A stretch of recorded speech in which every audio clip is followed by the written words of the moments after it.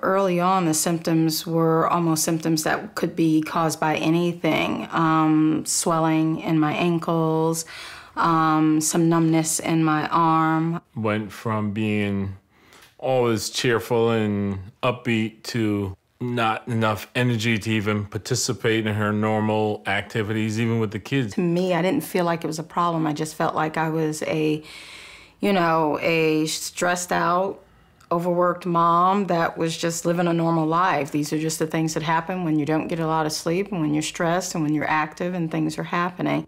Um, I never really felt like there was something so serious that I needed to take care of it immediately. And unfortunately, I'm the type of person, I don't want to go to the doctor if I don't have to. So I will make up a lot of excuses before needing to go. And my husband was always on me about, you know, I don't like the way you're not, you're, you're always having these headaches and things like that. I probably dealt with those types of symptoms for hmm, six months, eight months. And family first, kids first, then me, till she couldn't do anything anymore.